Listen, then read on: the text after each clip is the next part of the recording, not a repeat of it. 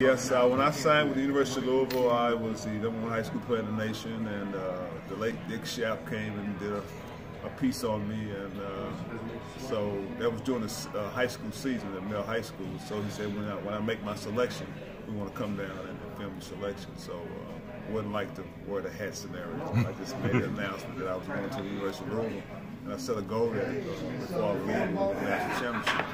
And that all came from uh, Muhammad Ali. Uh, watching him predict the rounds of fights he's going to knock players out in for two years straight. You know, I know it wasn't boxing, but, you know, I try to put that into basketball and have the confidence to try to deliver that. So uh, it all worked out. You know, when I went to University of Louisville, I had two goals in mind. Uh, my first goal was to get my degree in four years, and the second was to win a national championship. And, you know, by the grace of God, it happened in reverse order, but it happened. I won a national championship first, and I got my degree in May.